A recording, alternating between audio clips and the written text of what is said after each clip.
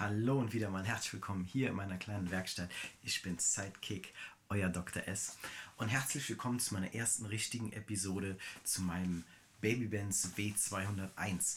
Ich habe euch in den zwei Episoden davor, äh, hat das Geplänkel angefangen. Da habe ich ja mir solch einen Ledersack gebaut zum Pleschedengeln, Reparaturpläche und habe euch mein Schweißgerät mal vorgestellt, was ich mir gekauft habe. Dazu wird es demnächst auch noch mal ein bisschen mehr gehen, denn ich habe jetzt auch hier einen neuen 06er Draht gekauft. Vorher hatte ich mit 08 äh, geschweißt und da werden wir mal schauen, wie die Ergebnisse mit 06er werden. Das wird dann noch kommen. Und ähm, was jetzt ansteht in der ersten Episode, zur Reparatur des Babybands slash Vorbereitung fürs H-Kennzeichen zeige ich euch jetzt mal. Hatte ich euch in der Vergangenheit auch schon mal gezeigt, aber wir gehen noch mal schnell gucken. So, da ist mein gutes Stück, mein Babybändchen. Und ja, angefangen habe ich ja wegen diesem Loch da drin. Das habe ich jetzt eigentlich ja noch wunderbar selber hinbekommen äh, mit dem Dengeln, mit meinem Ledersack. Aber als ich hier weiter am Arbeiten war, das war hier unten. Hier ist auch noch ein böses Loch. Und auch hier. Ne? Und hier, das ist so krass verformt alles. Also das hier jetzt von Hand zu dengeln, ich glaube, das wird mir zu wild. Also das sieht man jetzt auch, ist hier unten da alles durch.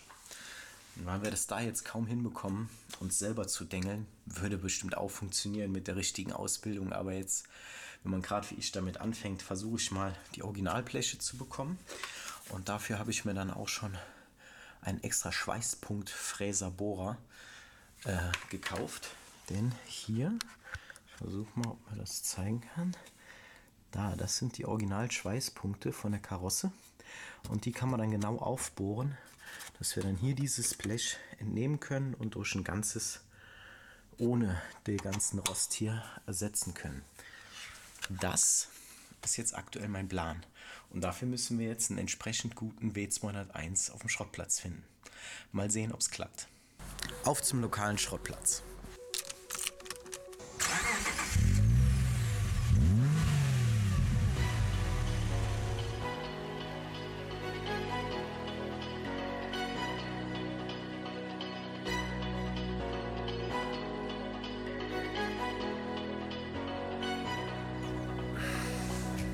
Scheiße.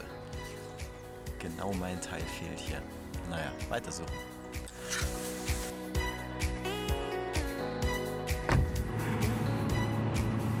Ich bin jetzt unterwegs nach Kerpen zu MCAM. Und äh, das ist ein Unternehmen, das hat spezialisiert auf Mercedes-Teile.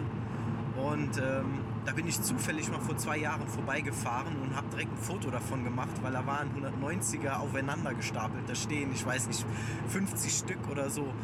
Da werde ich auf jeden Fall meine Teile bekommen. Also ich bin sehr, sehr, sehr gespannt.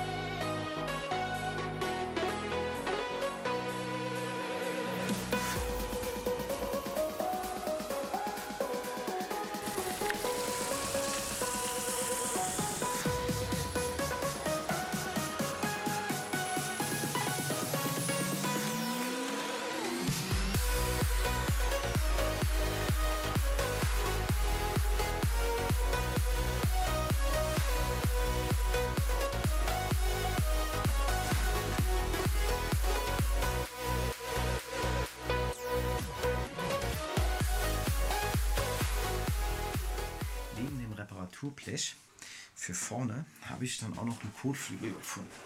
Das hier ist meiner und da seht ihr, der ist auch schon echt zerfressen und dummerweise genau hier in der Falz drin kann man sicherlich auch reparieren, aber ob das jetzt den Aufwand wert ist, denn ich konnte auf dem Schrottplatz, habt ihr ja gerade gesehen, noch einen ergattern. Und das gute Stück hier hat gerade mal 60 Euro gekostet. Und ähm, original Mercedes liegt es ungefähr bei 800 Euro. Das ist also schon ein Preisunterschied. Erstmal sauber machen, das gute Stück.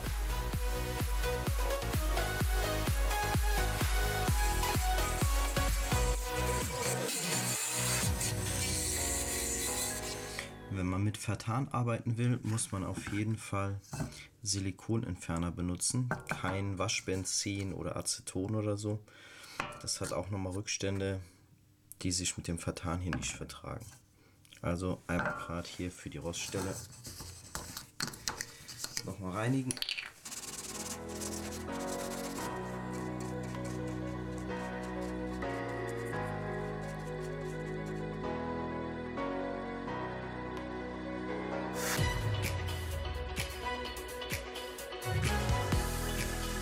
Im Radlauf war zum Glück schon Karosserie-Dichtmasse vorhanden. Die fräse ich jetzt erstmal ein bisschen grob ab, um auch nochmal eine gute Oberfläche zu schaffen, für dann neue Dichtmasse aufzutragen.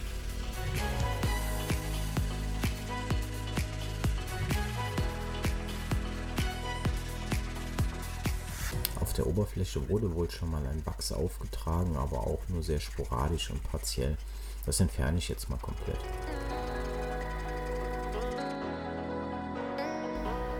Mit Silikonentferner ging das Wachs oder Fett, was es war, wunderbar ab.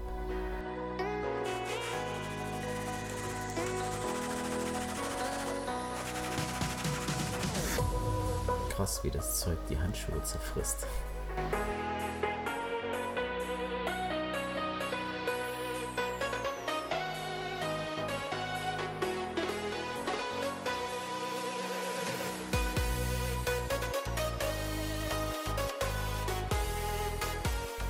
Dichtmasse, die schmiere ich jetzt richtig dick in die Falz rein. Also die soll den Spalt da drin quasi komplett ausfüllen, damit sich da auch gar kein Schmodder mehr absetzen kann.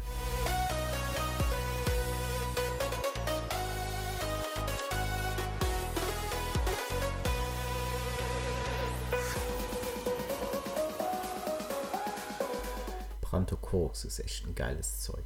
Also richtig schön da aufschmieren, in jede Ecke, in jede Falz, richtig damit fluten und am besten dann einen zweiten Anstrich danach hinterher und das wird bombig. Das Ding hält noch mal 30 Jahre, bestimmt.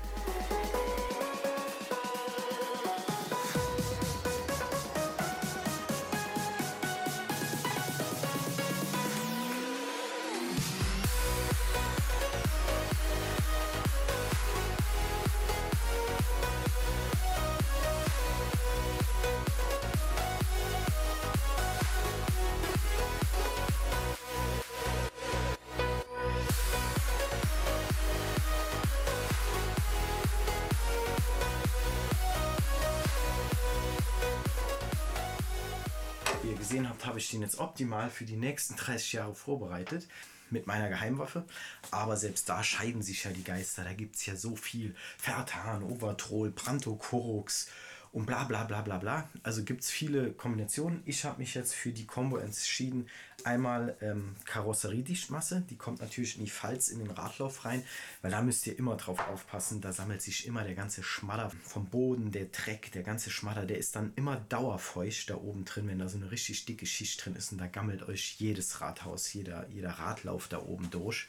Also wenn das Auto wäscht, bin ich auch schon immer mit, der, mit dem Schlauch da reingegangen, habe den ganzen Rotz da mal rausgewaschen, weil wenn das dauerfeucht ist, das ist scheiße. Deshalb haben wir diese Falz komplett voll gemacht mit Karosseriedichtmasse, dass da überhaupt sich gar nichts mehr wirklich reinsetzen kann. Und dann habt ihr gesehen, zwei Lagen Prantocorox 3 in 1 drüber. Ähm, das sollte jetzt ewig halten. Der interessante Trick an der Sache ist jetzt, ähm, ich habe hier einen Vormopf, einen 87er Vormopf. Das heißt, der hat nicht die Sakkobretter, sondern nur die, ähm, die dünnen Zierleisten da unten dran. Aber Mercedes hat an den Blechteilen nichts geändert. Also ihr könnt, wenn ihr ein Ersatzteil sucht, äh, je nachdem was ihr fahrt, könnt ihr genau zwischen Mopf und Vormopf, also die Kotflügel könnt ihr untereinander tauschen, die sind komplett gleich. Da ändern sich nur die Halterungen für die Sakkobretter oder für die Zierleisten. Aber das Blechkleid an sich ist absolut gleich. Deshalb meins hier ist jetzt von einem silbernen Mopf und der kommt auf meinen Vormopf drauf und das wird wunderbar passen. Ich denke, das war es jetzt mal mit der ersten Episode. Mal sehen, wie lang die jetzt wieder geworden ist, nachdem ich fertig bin mit Schneiden. In der nächsten geht es dann weiter, wie ich hinten die Teile mit meinem äh, Schweißpunktfräser ausbohre. Und äh, ja, heute werde ich jetzt noch Schweißversuche mit dem 06er Draht mal machen. Da bin ich auch mal gespannt, was dabei rauskommt. Und das seht ihr alles in den nächsten Wochen. Also bleibt dran, freut mich. Bis dann, euer Dr. S.